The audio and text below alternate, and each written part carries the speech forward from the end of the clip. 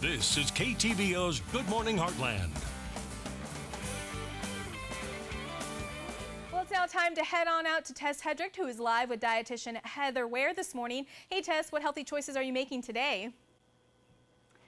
Uh, good morning, Ella. That's right. Um, you know, Thanksgiving is coming up in a few days, and what a better way to bring some squash out. And Heather Ware from Hy-Vee is going to talk to us a little bit about um, the health benefits, actually, of them. So tell me a little bit about squash and, uh, yeah, how they are uh, beneficial to our health. Squash are a wonderful thing, um, especially around the holidays, to be adding to um, your dinner table. I brought along a bunch of different winter squash varieties, which you can tell by the orangey yellow flesh. That orangey yellow color is um, significant, showing that there's more than likely a lot of beta carotene in there, which is what we need for our healthy skin, healthy eyes, being able to see at night when we're Some driving. nice reflection and Yeah, yeah. wonderful for that.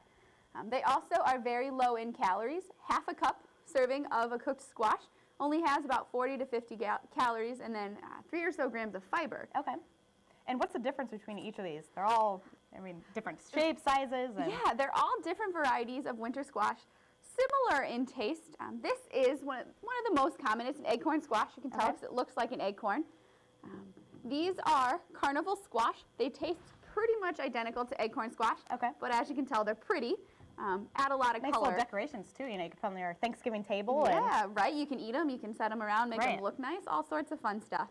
And this is a spaghetti squash. It actually looks like spaghetti when you pull it out of there, so you can use Right. it in pasta dishes, that sort of thing. I've seen that before. You know, trying to make dishes healthier and yeah. Yeah, super easy. Um, and then I have a buttercup squash, which has kind of a nutty flavor. Um, and then one of my favorites, a butternut squash Okay. over here. Um, this one tastes similar to a sweet potato. And so you can cut it up, put it in recipes, swap it out for a little bit lower calorie option. And tell me what's over here because this smells awesome. I wish we had smell vision. Is that a thing? Hopefully it will be. You know.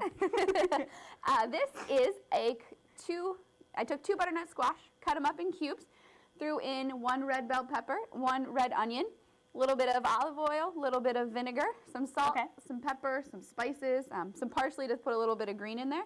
And I just baked it up um, at 425 for about 45 minutes, and here you go. You have a wonderful side dish. Hopefully we can get a little close up of this because the colors are really beautiful. I mean, they're really bright, and I feel like whenever something's bright, it's kind of more healthy, right? I mean, right? The more colors you can get in there, uh, the more vitamins there are. All the different fruits and vegetables, based on their color, um, you can really tell what vitamins and minerals are high in those foods. So as you can tell by looking at this, you've got a lot Right. of different categories covered. healthy side dish, you know, go along with that turkey and Yeah, yeah, and you know, there's so many different ways you can cook them up. Um, this is a little bit more labor intensive. You do have to time, take the time Right. to cook it. This, though, you simply cut it in half, scoop out all those seeds and get rid of them. okay. Stick it on a baking sheet for half an hour, 45 minutes, and you've got a Perfect. cooked squash. Well, great. We will put this uh, delicious recipe on heartlandconnection.com. Thank you so much for being here. And Ella, we'll send it back to you.